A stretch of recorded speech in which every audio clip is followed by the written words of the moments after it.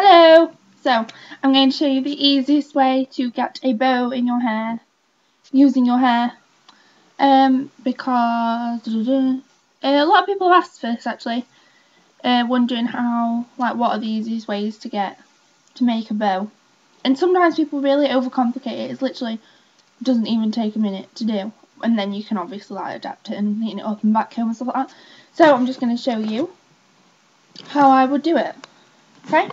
Right, here we go put some music on for you. I'm not going to cut and stuff this one, I just want to do it straight away to show how easy it is and how fast it is. Um, okay, let's go.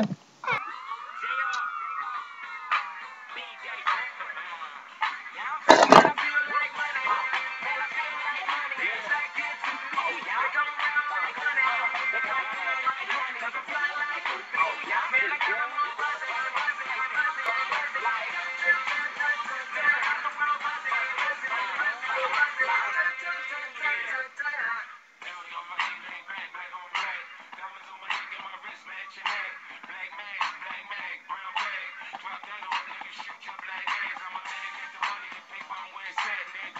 me. You treat me like PNC. I'm from where it's forever sunny.